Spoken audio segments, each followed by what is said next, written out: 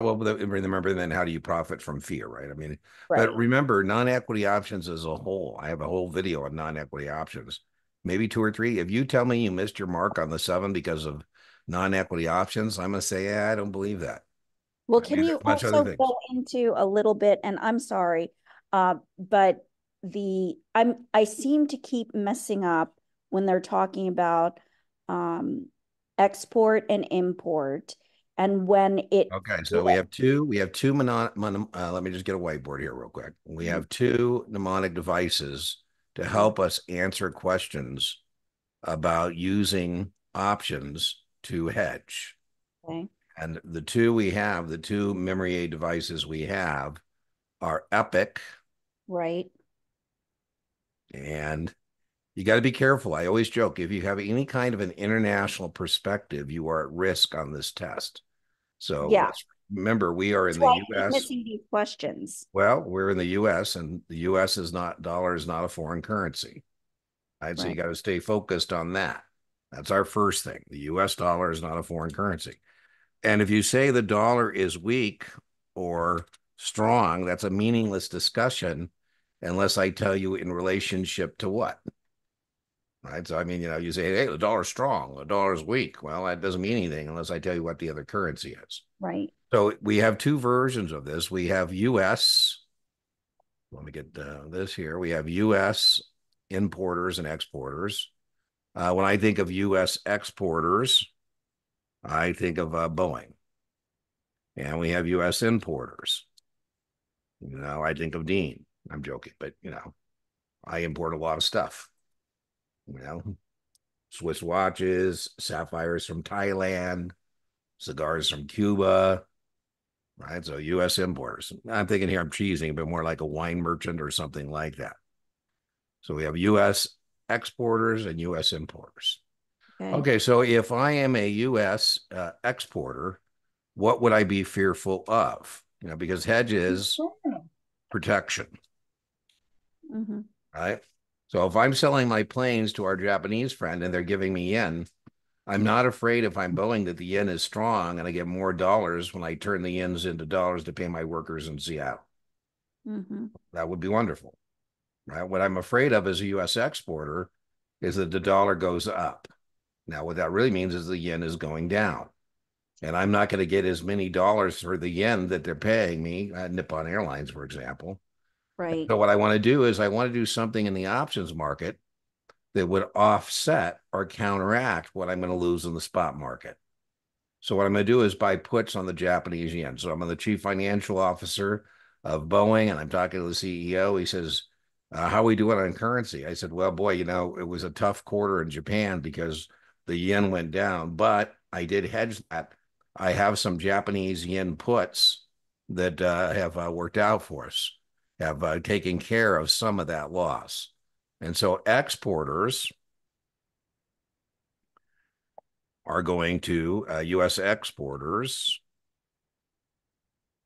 are going to buy a put on the foreign currency. So that's what EPIC stands for. Exporters buy puts. US. If I'm a US importer, like I'm a wine merchant, and I import European wines. I'm not afraid that my dollar is strong because my dollars are strong against the euro. I end up with more wine. Life is wonderful. Hedging isn't about if you're right, hedging is about what if you're wrong. And if I'm wrong, then I think, okay, well, that means the dollar is going to go down and Dean isn't getting as much European wine. Now, remember, the dollar is not a foreign currency. Right, If I say the dollar's going down, I'm saying the euro is going up. And so again, I'm the chief financial officer. You, Jessica, are the wine geek. You know, you started out this wine importing business, and you say, "Hey, Dean, what's up with the the euro?" I said, "Well, Jessica, you know, it's been kind of challenging because, as you know, the dollar has been weak, and we haven't been able to buy as much stuff in Europe." I Mhm. said, "But I did hedge that. I did hedge that, and I bought Mhm. some calls on the euro." And so we have offset some of that loss with the intrinsic value of the call contracts I bought. okay, So US importers uh, buy calls. right? Because what I'm afraid of is the euro or whatever happens to do. Now, you got to be careful. It's a giant reading test. And this is where most people get hung up. I get calls all the time. Epic didn't work. And I said, well, read the question again, probably because it wasn't a US exporter or a US importer, right? Yes, So it could be a foreign, Yes. right? Where's this company at? You know, maybe it's a Japanese company, a foreign corporation, not a US corporation, a foreign corporation. And so for a foreign corporation, this is going to be different, Mm-hmm. right? So if I'm a, a Japanese company and I'm importing the planes, right? So I'm buying Boeing planes. Mm-hmm. No, I'm not afraid that my yen is strong because that means I buy more planes. You know, so if I'm a Japanese importer, I'm not afraid of the yen being strong. I'm afraid of the yen being weak. And so, you know, again, I'm the chief financial officer. I'm Japanese in this situation. I'm not a US person anymore. And Mm-hmm. you say, Dean, what's going on in the uh, exchange markets? I say, well, as you know, the uh, yen has been uh, going down and the dollar's been going up, and we've been getting killed, uh, you know, turning the, uh, you know, dollars into yen, you know, because Mhm. we don't get to buy as much stuff. Our yen isn't uh, going as far as it used to go in terms of imports. And so, yeah, it's bad news, but I did hedge it.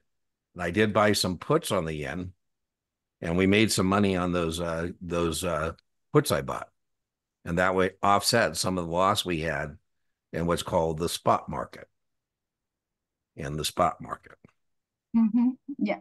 Right? So now again, if I'm a foreign corporation, Mm-hmm. so I'm a Japanese exporter. Oh, you're, you know, my Chinese friends, right? Mm-hmm. You know, I, I can't believe how cheap they'll sell me stuff. It's like, you know, it's crazy. You know, my dollars can buy a lot of Chinese stuff. Um, I was just reading they make an electrical car called a Seagull. electrical car in this jelly, this electrical car called the Seagull is 10 grand. Were even with the if we put a hundred percent tariff on this uh, Chinese electrical car, it's still going to be 20 grand and it's still going to be a good deal. You know, so well. Okay, so I am now an exporter to the US, Okay. right? And again, I'm not afraid if I'm selling stuff to the US and the dollar is strong. Because that would be great, right? Because you know, I'm selling my stuff and I'm getting more yuan or getting more yen, whatever the case may be.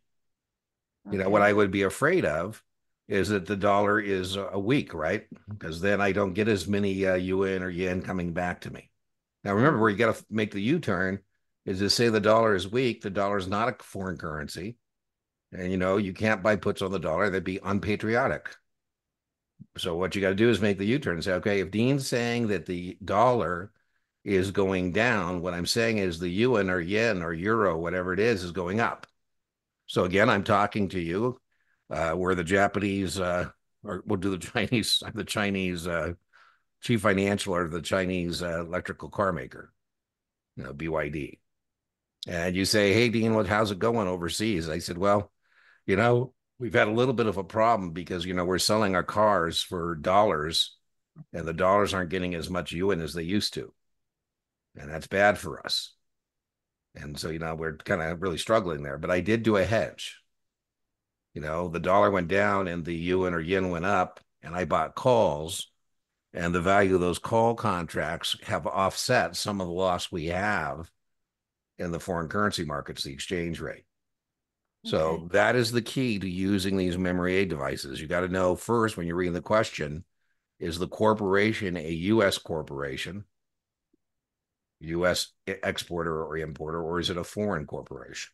I think one of the reasons why it was getting confusing for me is because the question was asking not would you buy, but what would you sell? Well, you wouldn't really sell uh, in a hedge. I again, you need to cut and paste or send me the QID. But I- I remember, I just gotta in general, because that's that okay. that's Jessica, slow down, slow Oh, down. sorry.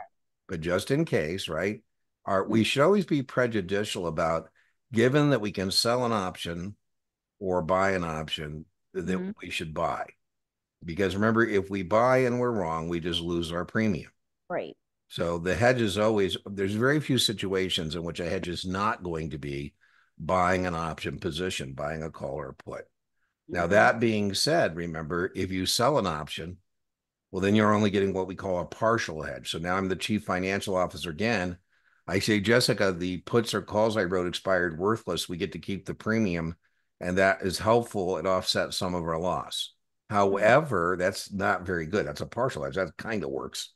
You don't want Right. something kind of works. You want something that works. Right. So, I think the reason I couldn't answer it is because they were specifically asking, that was part of the question, sell. Mhm. And then I Uh, was like, well, I'm not sure exactly what to do. well, be careful. Like I say, you know, I, I need the context of the question. As it stands right now, it's a ghost question. But remember, they might in the question say, I'm selling, you know, importing wine or I'm in uh, stereos or whatever. So there might be indeed some of that into the question. Right. But again, the question isn't about the products being bought or sold. It's about the currency that Mhm. we're, you know, either, you know, paying or receiving. All right.